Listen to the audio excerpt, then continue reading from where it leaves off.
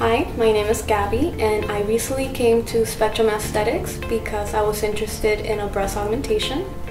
I met with Dr. Ortega and one of the coordinators, and we decided on the surgery date, on the size, if I was gonna go with silicone or saline.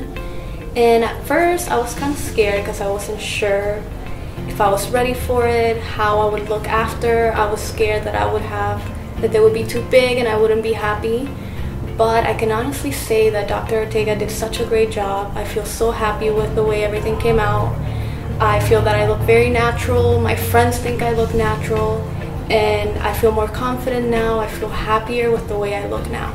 So I would really recommend Spectrum because they know what you want, they listen to what you want to look like, and I feel like they follow the steps to make you look a certain way.